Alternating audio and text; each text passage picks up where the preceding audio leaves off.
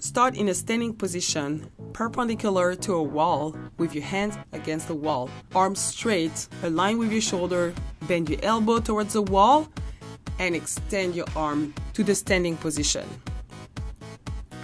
But you want to make sure that you keep a nice, strong body aligned the whole time.